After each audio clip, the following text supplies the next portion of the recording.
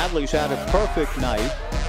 Three for three, two walks, a run scored, an RBI on one of the bases loaded walks in the eighth. 0-1 to Adley Rutschman. Cooper Powell, the eighth pitcher of the night for Nevada, trying to send it to the 11th.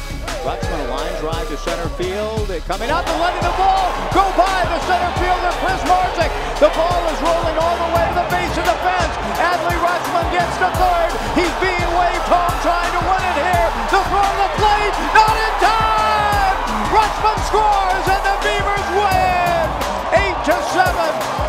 8 to 7 on an inside the park. Home